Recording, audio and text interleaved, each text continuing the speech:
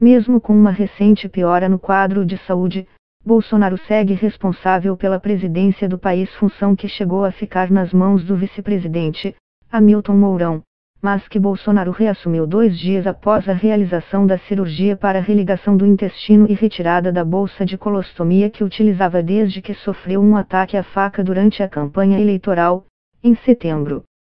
Nas últimas horas tive o prazer de voltar a comer. Ontem pela noite um caldo de carne e hoje uma boa gelatina. Estou feliz, apesar de não ser aquele pão com leite condensado kkkk. Bom dia a todos, escreveu o presidente. Mesmo diante da internação, a equipe considera que ele está em condições de comandar o país e nega resistência em passar a missão para Mourão, que está em Brasília. Com a administração de antibióticos até a próxima semana para conter o quadro de pneumonia, Bolsonaro terá de passar por novas avaliações para ter uma previsão de alta. O presidente também tem relatado dificuldade para dormir. Ainda que o governo procure transmitir otimismo em relação à evolução da saúde do presidente, a distância de Bolsonaro das atividades em Brasília já tem gerado efeitos práticos, reconhecidos inclusive pelos aliados.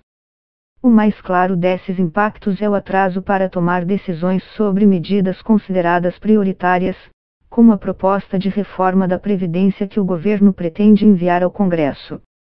Em reuniões internas, integrantes da equipe responsável pelo texto esperam que o presidente bata o martelo sobre o assunto até o dia 19, mas Bolsonaro não se comprometeu publicamente com uma data. O encontro com integrantes do governo também está prejudicado pela necessidade de Bolsonaro despachar de seu leito no hospital.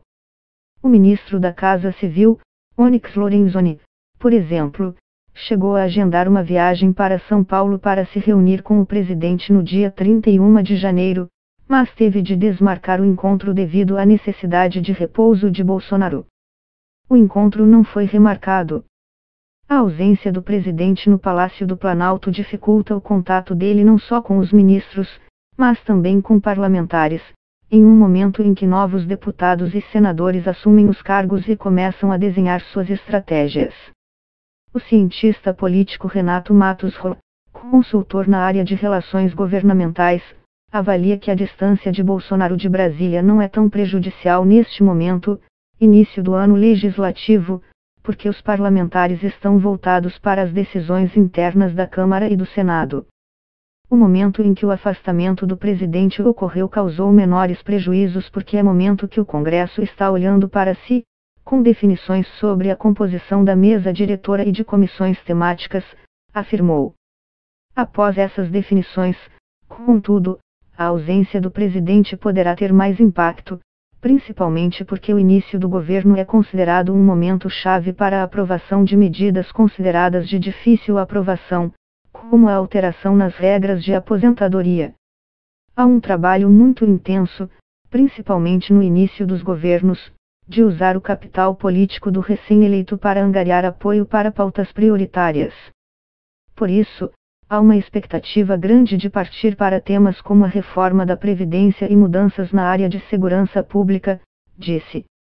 Rola avalia que o ministro da Justiça e Segurança Pública, Sérgio Moro, contrabalançou a distância de Bolsonaro ao apresentar nesta semana o seu pacote de leis de crime.